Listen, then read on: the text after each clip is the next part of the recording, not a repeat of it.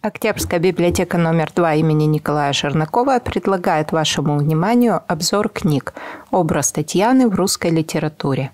Мы предлагаем вспомнить литературные произведения, где главных героинь зовут Татьянами. Итак, она звалась Татьяной. Ни красотой сестры своей, ни свежестью ее румяной не привлекла пана очей. Татьяна Ларина – любимая героиня поэта Александра Сергеевича Пушкина – самый известный женский образ русской литературы. Это девушка с тонкой душой, богатым внутренним миром и высокими нравственными идеалами. Образ Татьяны Лариной, сотканный из нежности и романтичности, вместе с тем невероятной силы духа, навсегда вписан в сокровищницу русской литературы. Характеристика Татьяны Ларина имеет большое значение для понимания личности главного героя Евгения Онегина.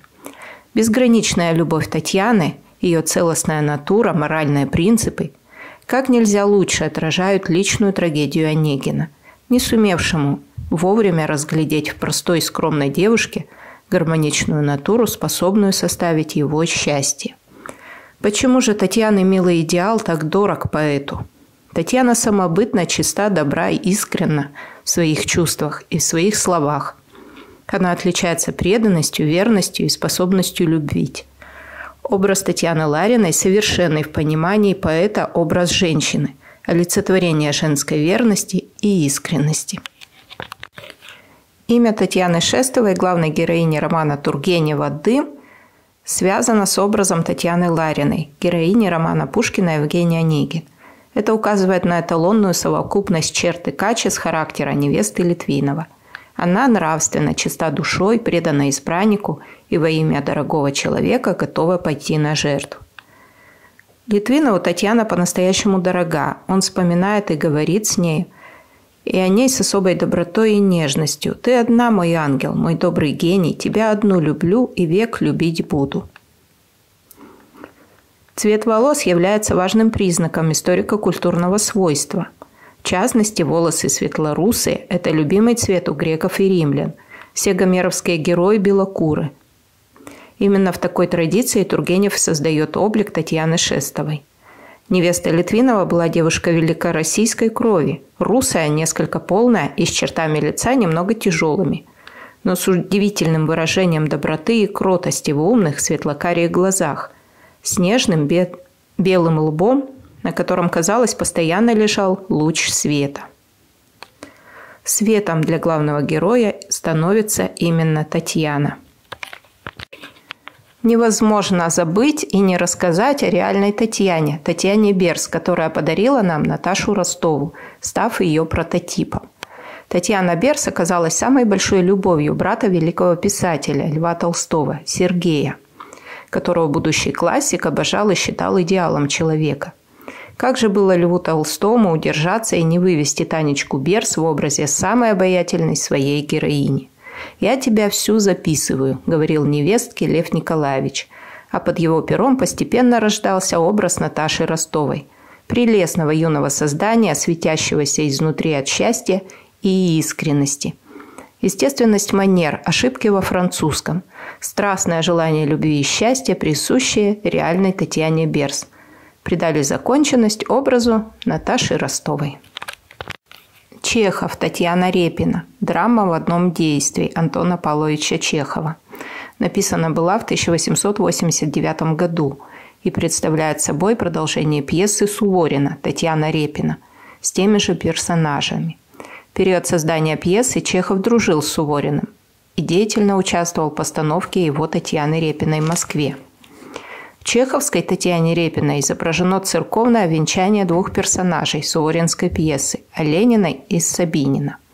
И истерика в толпе дамы в черном, которую приняли за отравившуюся Татьяну Репину. Татьяна Павловна является одним из самых колоритных персонажей романа Достоевского «Подросток», несмотря на свою посредническую и второстепенную роль в сюжете – Будучи одинокой женщиной в возрасте, она обладает подвижным умом, деятельным и резким характером, прямолинейностью в сочетании с деликатностью, а также необычайной остротой на язык.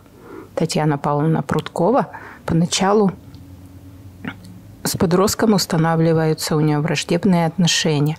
Она ругает его за поведение, необдуманные слова и поступки, укоряет сыновей неблагодарности. Тем не менее, ее постоянные критические выпады несут в себе оттенок простодушия и беззлобия и обращены скорее в назидание, имеют воспитательную цель. Солидный возраст и уважаемое положение в обществе не мешает Татьяне Павловне Прудковой сохранять в себе нечто юношественное, подростковое, горячность, безапелляционность, максимализм, задор. Вместе с тем ей присущий опыт, мудрость, знание жизни и людей. Татьяна Марковна Бережкова из обрыва Гончарова. Двоюродная бабушка Райского. Но в романе персонаж очень авторитетный, всем опора и советчица. Таней звали сестру главного героя Набоковского дара. Это Таня у Набокова, персонаж структурообразующий. Хотя в тексте она не появляется, а предстает перед нами только в воспоминаниях и стихах Годунова-Чердынцева – Сестра Таня, товарищ по беготне, шумным играм в индейцев и закатыванию меча под нянин комод. Еще одна Татьяна из сказа Павла Бажова «Малахитовая шкатулка». Судьба этой героини сложилась весьма необычно из-за шкатулки, которую подарил ей покойный отец. В детстве Танюшка очень любила играть с подарками отца. Когда же подросла, к ним в дом забрался вор. Он хотел убить ее и забрать шкатулку. Но в этот момент Татнюшка так посмотрела на него таким взглядом, что он ослеп. В ней была необычная сила, связанная с этой шкатулкой и ее драгоценностями. Татьяна считает себя особенной, ни на кого не похожей девушкой. Например, когда она приезжает во дворец, не оказывает должной чести царице, считая, что и сама достойна не меньших похвал. В конечном итоге неизвестно, куда героиня пропадает – Автор оставляет этот вопрос открытым. В образе Танюшки Бажов угадывает черты самобытного русского народа. С одной стороны своенравие, гордость, а с другой трудолюбие и преданность мастера своему делу. «Юность Тани» – это первая часть трилогии «Открытая книга» Каверина, посвященной жизни известной деятельности советской медицины. Это часть трилогии о взрослении Тани Власенковой – охватывает ее детство, учебу в медицинском институте. Здесь и выбор ее жизненного пути, и отношение к людям, которых она встречает, хорошим и не очень, предательство, внутренняя борьба, любовные переживания. Просто жизнь, как она есть. Реально существовавший прототип главной героини – микробиолог Зинаида Ермольева, прославившаяся исследованиями холерного вибриона – и разработкой лечения с помощью бактериофагов, которое было применено ею в осажденном Сталинграде для предотвращения эпидемии холеры. Это произведение – возможность прикоснуться к истории микробиологии, первым шагам к получению антибиотиков и вакцин в СССР, работе ученых в начале XX века. Книга писалась в непростое время репрессий и преследований, в том числе и врачей – и автору приходилось быть очень осторожным, чтобы произведение напечатали. Еще одна героиня – Таня Рябинина в пьесе Арбузова «Таня». Эту пьесу принято считать блестящим театральным дебютом драматурга. Главная героиня – натура неординарная, самоотверженная, цельная личность. Тот самый алмаз пыли, который можно не разглядеть с первого взгляда. Исключительность ее заключается в особом поэтическом видении мира – Живет она в одном из тихих арбатских двориков. Бросила мединститут, чтобы посвятить всю себя любимому мужу Герману. У нее скоро должен родиться ребенок, а проект германовской драги признан наилучшим, а значит, жизнь удалась. Но происходит великая драматургическая вдруг. Вдруг Татьяна узнает, что Герман любит другую. Жизнь ее рушится, как кукольный домик. Она уезжает на север и становится врачом. Разведчик Татьян. Рассказ Леонида Соболева из книги «Батальон четверых».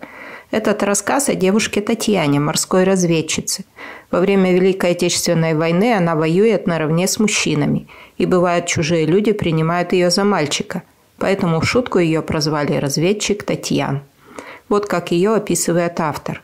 Смелая, выносливая, осторожная и хитрая, она водила моряков по деревням и хуторам, где знала каждый тын, каждый кустик, прятала их по каменоломням, находила тайные колодцы и, наконец, когда путь, которым они прошли в тыл врага, был отрезан, вывела разведчиков к своим через лиман. Соратники относились к ней очень бережно, все уважали и любили ее.